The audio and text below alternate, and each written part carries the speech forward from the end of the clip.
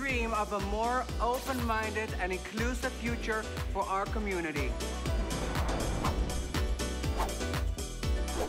And we can all help create this future together.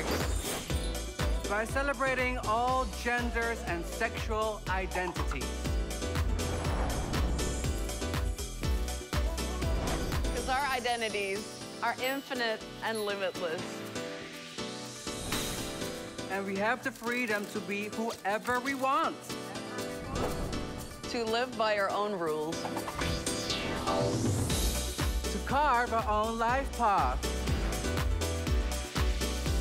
In our world, everyone can live comfortably in their own shoes. Come as you are.